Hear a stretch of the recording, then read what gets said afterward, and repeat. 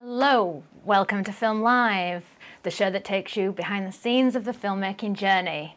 I'm your host, Leanne Collinson, and today we're going to be discussing directing and writing for animation. And we're going to be speaking with Sean O'Reilly, the CEO and founder of Arcana Studios. Sean, thank you so much for joining us on Film Live. Oh, thank you for having me. Brilliant. So what we'll do, we will ask the audience, what's your favourite animated movie? And if you want to comment below, we'd love to hear your feedback. And to start us off, we're going to show the trailer of Arcana Studios.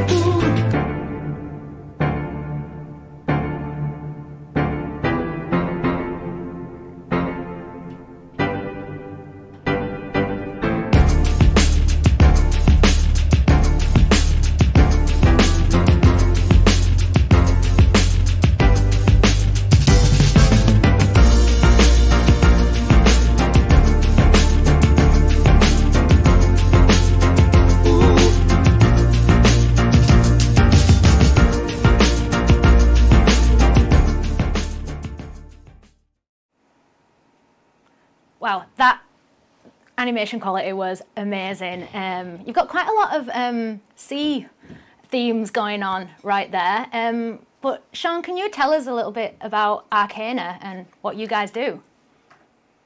Sure. So Arcana started in 2003 as a comic book publisher. Um, I published my first book, Kade. Uh, it was about $2,500. Spent the money, kind of freaking out. I managed to get it back, broke even. And then I did the second one, then a third one, and a fourth one. Uh, we've published now about 300 graphic novels since 2003. Uh, the only time I publish a book is if I believe in it and I think it can go past the publishing medium as a concept or as an idea. And uh, yeah, that's kind of the, the start of it. It started off with just me in my basement, which I'm talking to you right now in. Uh, and then right now we're at uh, over 60 employees, all working at home, who are amazing. Thank you. oh, wow. So you've actually got quite an extensive graphic novel collection. So, what is appealing about graphic novels to you? Uh, I think for me, I like the idea of a graphic novel and, and working in it because truly you have boundless imagination. Uh, every time you start to uh, make a movie or, or, a TV series or any any other medium, um, it's going to have immediate obstacles. Um, you know, budget. Uh, you can't have that many visual effects. We can't film in that location. Uh, when it comes to a comic book, truly, you can have something just as easily take place in Mars, uh, underground, with fires, dinosaurs, dragons, anything, because you're you're truly boundless when it comes to the creativity. Um, how I started, like I said, twenty five hundred dollars. I mean, that was including printing. Um, overall, there is a very low cost uh, barrier to entry for graphic novels. Um, nowadays, uh, we didn't have Comixology.com back then, which is a good revenue source. Um, right now, it takes literally one person and, and an artist and if they can do that job together, they're called a cartoonist officially, even if it looks like Spider Man and not cartoony. Um, but I, I, really like it because it only requires the, the two people. Novels require one person. Movies, I was on uh, a movie that had 18 producers on it. Um, wow. It gets to be a little bit crazy. Um, but yeah, so overall, I, I like it. A uh, good example, I have a book coming out this winter called Rand oh, called Randolph the Reindeer, and it's just me and a guy named David Alvarez. And David and I were the only two people that touched the book, and and yeah, it looks you know, and that, that's how I, I like the graphic novel.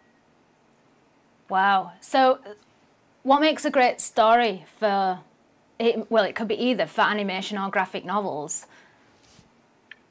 Yeah, for me, uh, because I kind of I've always loved comic books. Um, I really got into it at around age seven.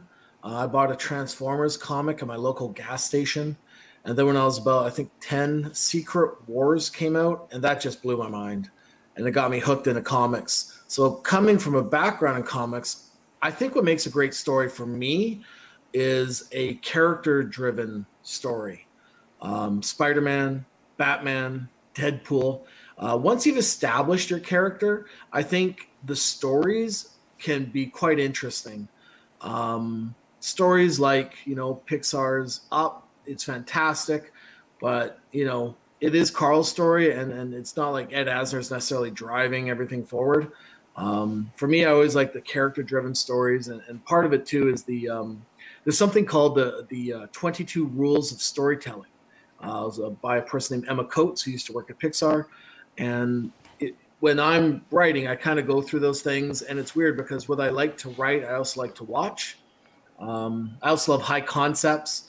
Last night, I was watching uh, Upload, which is a new TV series on Amazon Prime with Robbie Amell. Very fun. I think it would be just as fun to write as it is to watch. Uh, and I also really love genre movies, movies dripping with genre. I'm a huge MCU fan, uh, Star Wars, and I think what I like about those ones is the universe feels lived in.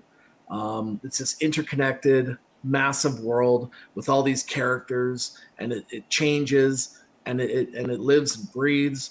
And so when it comes to stories, those are the ones I'm interested in. Either like there's, I feel like part of a bigger picture, uh, they're character driven or genre, high concept. So for me, that's what makes a great story. Yeah, it's actually funny you should say that though, because um, you live in Vancouver. You're, you're from Vancouver, and there's so many comic books coming to life right now in Vancouver. So I know that Deadpool was filmed there, Supergirl, um, and there's heaps more of that Marvel universe as well that's coming together um, in Vancouver. So because the filming industry is huge. Um, how do you decide what goes into production? Um. So yeah. So one of the things I've done, to be honest, I, I tend to, I've made a little analogy. Uh, I keep 10 plates spinning. So one of them has my dinner on it. Uh, and, and it's a funny way of saying, you know, many, many irons in the fire, if you will. Uh, so Arcana has a library of 300 graphic novels to choose from. I look at the ones that publish that have uh, maybe a great hook, strong characters, as I mentioned, uh, or even were well received or reviewed as a graphic novel. I'll then take those ones and start to um, develop them, get a pitch going. So somewhat I'm playing a numbers game, and I'm able to ebb and flow into different productions based on how busy I am. Uh, probably in order. I love producing, directing, then writing. I still love writing. Um, and so I'm really focused right now on finishing the projects I've set up. We have a co-production in Ireland, one in Argentina, uh, one in Mexico, and so I'm also writing, directing, producing an animated feature film right now, uh, and even developing a Go Fish TV series. So from a production point of view, I'm I'm pretty full. Um, I've been lucky, good. There's been a string of successes. So right now I'm not really pitching, so I'm not even necessarily looking at what goes in production. But what I try to do is keep those plates spinning, keep pitching, and then basically one of them kind of hits and so I'm quite adaptive. And I don't know which one of those 10 plates spinning will sometimes hit. And sometimes you pitch something, six months later comes back. It's like, whoa, didn't expect that. Uh, other times you pitch and it's dead. And uh, my first movie, Clockwork Girl, I pitched it a hundred times. Wow. And I only got one yes, but that's all you need one yes.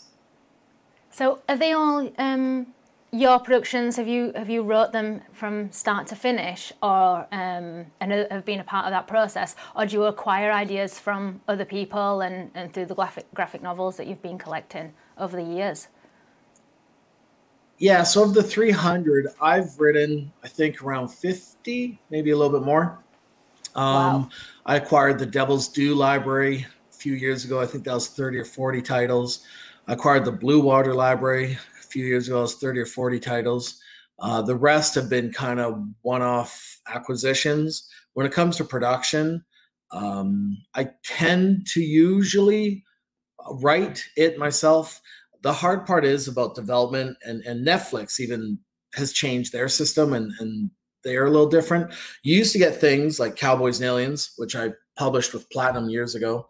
You to get things under an option. A studio would option it, so they have the right to own it in time, which is an acquisition. Then they would spend development dollars on it for a screenplay, and hopefully then they would greenlight it. And there's a thing which you can Google called development hell, and it's when a studio gets stuck hiring writers, paying for writers, and the project doesn't really advance. So for me, I tend to write the screenplay and then we then I have something to actually take to production. Yeah. That's a good idea. And um, so when you're actually in the animation process, what is the most important part of that animation process once you're in production? I can't remember where. So I, I, lived in LA for about three years, and so I did a lot of pitches. I pitched. It was kind of weird. The when I pitched Clockwork Girl, I was walking into DreamWorks, and I was really excited, and they're one of the no's, one of the 99 no's. And so I walk into DreamWorks, and as I'm walking in, out walks Ben Stiller. And it was awesome. I was like, "Oh my gosh, hey, big fan!" Da, da, da. And it kind of a little bit threw me off my pitch. by getting get into the room, and uh, I meet the people I'm, I'm, talking to, and I'm like, "Wow, Ben Stiller's there!" Like, yeah, we're producing a movie with him, and he's he's Megamind. And uh, I was like, "Really?" And I didn't I didn't know, and all of a sudden, it was really weird because you know I'm now pitching a project where Ben Stiller did the exact same thing, kind of pitching it. And I think it was during that meeting when I started talking to them, they asked me, "Why does this need to be an animated project? Why can it not be live action?" and so that's always stuck with me. Um, so in deciding uh, what what is an important part of an animation project, why does it need to be animated? Why why can you not? Why do you want that medium? Um, and I also think animation, kind of like graphic novels, uh, works so much better with a very strong uh, director's vision. Um, they can be odd or quirky. Uh, I recently saw Onward, and uh, it was weird, like really, really weird and I absolutely loved it. It felt outside of the norm to like a standard Pixar Disney movie because like there's some things in there that were geeky, kind of Dungeons and Dragonsy, uh, odd, and I just I just thought it was such a risk. I thought it was so cool, and for me, it really dialed in. I thought it was really cool. Uh, that's um I like it when people do take risks you don't always see that in film and television. So um, the animation process allows you to take risks, I suppose. And um, yeah, we were talking about um, just at the beginning in the intro. I was saying to the audience about their favorite animation. Um, Sean, what's your favorite animation? Yeah, so I think of all time, um, you know, Iron Giant would obviously be up there. I think that's every storyboarder, I think that's their go-to answer. But I also love that one. I think the classic one for me. I mean, I don't know if I can pinpoint one. Uh, Finding Nemo, fantastic. I think that's probably the one that, uh, if ever I had to give a hundred percent Rotten Tomato score on, I would probably do that. WALL-E, I love. Snow White, I love for different reasons. Right now, it's probably Onward. Um, I watched Scoob with my family. That was really fun.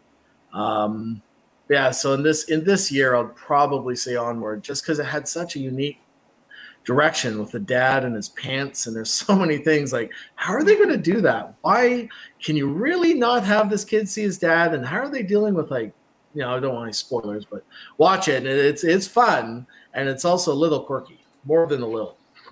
Yeah, it's actually one I haven't seen yet, and I've been really interested in um, animations recently. I've been kind of binge watching animation. It's like a, a new genre that um, I've rediscovered nice. as an adult, and it's it's just a new world that's opened up to me. But you um, are launching Go Fish in the UK. Can you tell us a little bit about Go Fish? Sure, yeah. The origin of Go Fish is kind of a unique one, a little quirky itself. Uh, it's one of the few I've ever done that was not based on a graphic novel.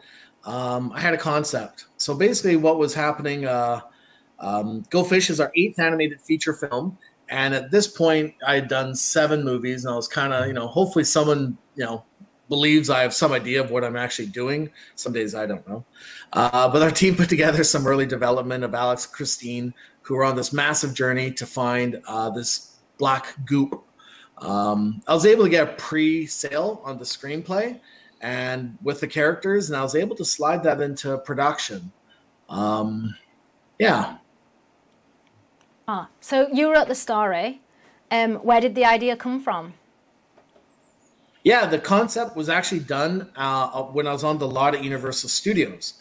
Uh, it's kind of weird. It's like ideation. I know the exact moment and place and time where I was. Uh, I had a pitch meeting, uh, a guy named Phil, and I was at Universal Studios, and then we had some red wine there, to be honest. And uh, I got, I finished my meeting, and I don't think anything actually ever became of that meeting. but I I was on the lot Universal Studios feeling totally inspired and I actually kind of felt overwhelmed. And so literally I opened up my laptop and I literally started writing. And uh, one of the things I do when I write, I like to have uh, a setup. And so I use Chicken Little as the setup to go fish. And in Chicken Little, you know, everyone knows uh, the sky is falling. And so in this one, it was the sea is failing. Um, and so from there, I kind of knew the three act structure of how yep. I was going to set the story up. Uh, I chose fish that were indigenous to the Bahamas because I know if you're talking about sea failing, the Bahamas right now is kind of in a precarious situation with you know our world and pH levels and the increased heat and everything. Um, the name main characters are named after my cousins. Um, but yeah, I find it kind of hard to tell a story from scratch. I've done about probably 20 screenplays. Uh, I find it way easier to come up with a story where I have familiarity with it. And then there's actually um, there's a guy named Christopher Booker uh, who uh, wrote a book called The Seven Basic Plots, and it's the seven archetypal stories. Um, and so, yeah, I, I kind of fall back on those and say of like you know Romeo and Juliet, uh, which is tragedy, uh, Voyage and Return. Um, so I would usually kind of pick one of those or Chicken Little or whatever, and that that's kind of my starting point and then I can start to fill in the blank, blanks and get creative. Yeah, um, so you mentioned the starting point. Um, can you kind of explain to our audience, and, and I know it t- might take a, a while, but a condensed version uh, from start to finish of a project like Go Fish? Um, from sure. starting, from the idea and the concept to the distribution phase, which is what you're at now. Yeah, so uh, Go Go Fish is a bit of an anomaly even for us. It was a very quick turnaround, and then I'll go through like kind of dates and stuff. Um, but that that uh, I wouldn't if you're maybe either starting out or only have a couple movies under your belt. I would never expect this, and and I still don't even expect this. So I was at Universal Studios probably around May 2018. Um, sat there, laptop. I probably created about page or two. Uh, I had Universal Wi-Fi, so I'm looking at Bahamas. I'm like, hey, I got my cousins. And so I kind of had everything put together around May 2018. Um, from that point, it was around, I can go pretty quick. And then one of the, so I used to teach screenwriting at UCLA. I think I'm still on their website. Uh, one of the things I always try to encourage is go as fast as you can, make up words, skip things. I think a lot of people worry about the structure of a first pass maybe too much and then they start to think oh wait let me and they, they start to get too myopic and they kind of slow down their creative process and they focus either on a paragraph a sentence an obstacle so sometimes i'll put insert challenge here and i'll just keep flying forward uh, but i got the screenplay done either in june or july and then literally it was august 2018 uh, i pitched it to lionsgate grindstone and i got a pre-sale and so we started production either in August or September of 2018. 2018, and we had some of the assets built. I think Alex and Christine were built as part of my uh, pitch package. And then we were in full production. I think it was around August or September 2018. We delivered in April 2019, which is quite quick. Um, and then uh, it was released in came out through Lionsgate in November uh, 2019. Um, we had less than 50 people work on it on the entire thing. Um, at any one time, there's probably only 30 to 35, and then some people come and go and all that. So, you know, overall, it's a, a lower budget movie. It went straight to DVD, home video, uh, which is where it was meant to be from the beginning. Um, but then, to be honest, I think, you know, I watch Onward and it's so impressive and so awesome. And I swear their catering budget's probably bigger than my entire budget. But, oh, wow. uh, you know, and so you, that's part of the creative process. I don't know that for sure, but it feels like it. Uh, but that's part of the creative process, knowing what you can do and what you can't do. Yeah, and um, I can't believe the turnaround because that is quick. Like usually, um, especially with animation as well, the, the, turnaround isn't as quick as that. Um, and you got some big actors in there as well, and quite a diverse range of actors. So I know um, from the trailer you, you got iJustine in there. She's a YouTuber, and then we've got um, Mark Hamill as well, and then we, your son's in it. And um, you you just mentioned that you ma- named the characters after your cousins. So did you keep that in the family as well? It's kind of a little bit, yeah. So I mean, yeah, yeah. So uh, I've I've been lucky enough. I've worked with Christopher Plummer uh, six times, uh, Ron Perlman five times, Mark Hamill four times. I've also directed uh, Chevy Chase, iJustine, as you mentioned, uh, Finn Wolfhard and Noah Schnapp from Stranger Things, uh, Tia Carrere, Mark Dacascos, uh, Vanessa Williams. Um, I've been really fortunate who I've been able to work with. Um, one of the, the special ones I've worked with, I think four or five times, uh, my son Kiefer O'Reilly, uh, which is kind of awesome and also kind of weird because, to be honest, his career's kind of taken off a bit more than mine. Um, I'm doing great, very happy. He just got nominated. He's, he's 12, and he just got nominated for a Leo Award. Uh, and so they, I think it's four or five nominations. Um, everyone's in their 30s, 40s. They're established actors, and he's the only 12 year old in there. Uh, he had a fantastic role on The Good Doctor. Um, he's currently a Mighty Duck. Um. And yeah, he's just been on a tremendous directory. Um, yeah.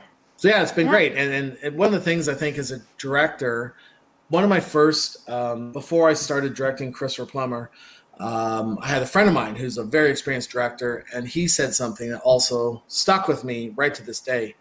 Uh, he said, "Don't break the golden rule," and he left it there. And I was like, "Okay, what's the golden rule? Tell me." And uh, he said, um, "Sometimes directors will say, no, no, no, no. I'm thinking you do it like this. These peanuts are making me thirsty." And he said, one of the worst things you can do is, as a director, is start to act and perform the line the way you want it.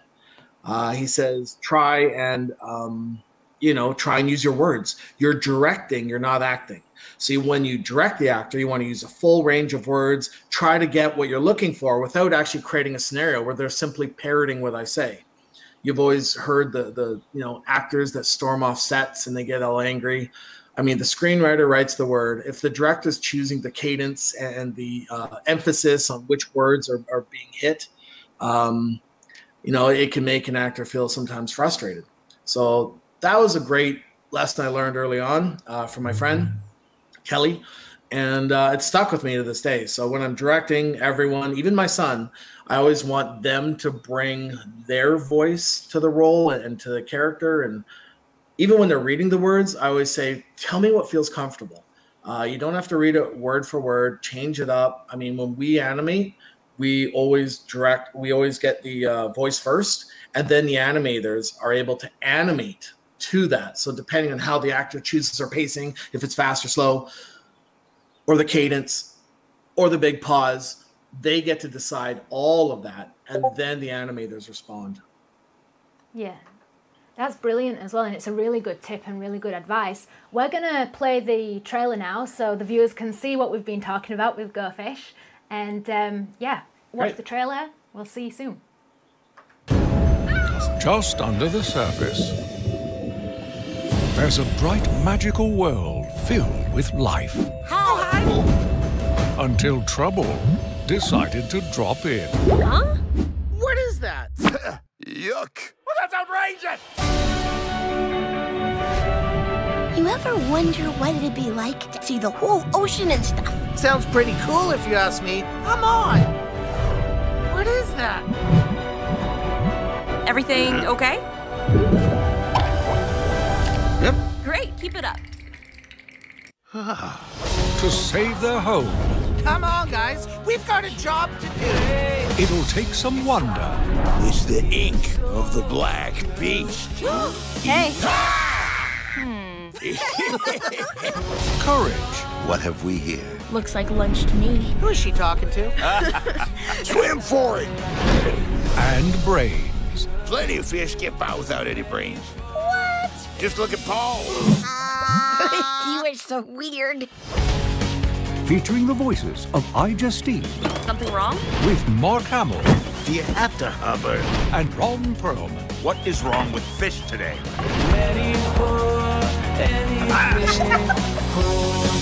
Go Fish. Why do jellyfish envy every other fish? I don't know. Because they're all jelly. Everybody's a critic.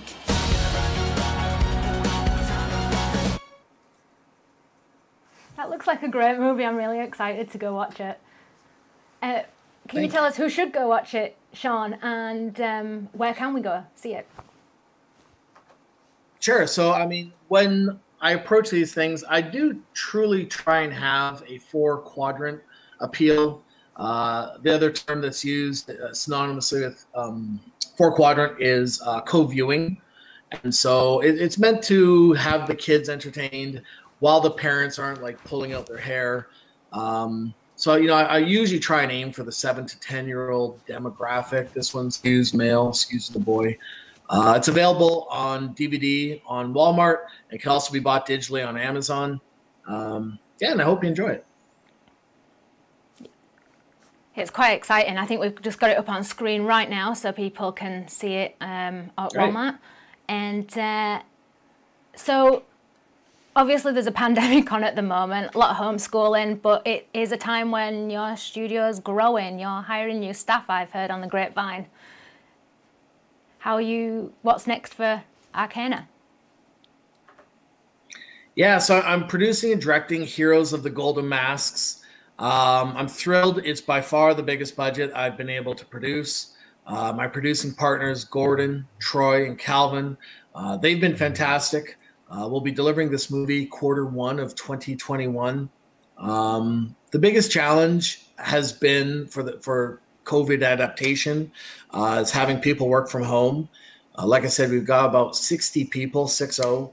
And so they're all working from home. And to get that happening, we had to create a secure and stable VPN. Uh, we had to upgrade our internet to fiber. Uh, we had to get computers to people. Um, it's been a tremendous amount of IT work. Um, but thanks to Aaron Strasberg, uh, Brady Keeler, Toby Gaines, Sean Coughlin, William, uh, and so many other talented people at our studio. They they've all stepped up, and I think what's been really cool is our staff has been very appreciative. Um, lots of productions uh, are frozen, stopped, um, but we've managed to keep persevering, and and it hasn't like things have obviously been adjusted. I would definitely wouldn't say we've grown per se, but I think we've we've adapted, and I, I I'm pretty happy with how everyone's responded under under a global pandemic. Um, so yeah, we're hoping this all you know. I don't know if there ever will be a new normal, but that's a different conversation. Uh, everyone's good on our side, and we hope you and all everyone out there is your families are safe and strong. Yeah, um, and it's great that you're um, able to work through this pandemic and you're you're growing as a company. And um, what we will do, we'll put a link in the description. So if anybody is wanting to purchase um, GoFish, you can put go, purchase GoFish um, via our YouTube channel or Facebook. Um, so thank you very much for joining us, Sean. We really appreciate your time. And um, yeah, to everyone uh, on Film Live. Uh, we will see you next week for another behind the scenes talk from script to screen. Um, don't forget to subscribe and like. See you soon. Stay safe, stay strong. Thank you.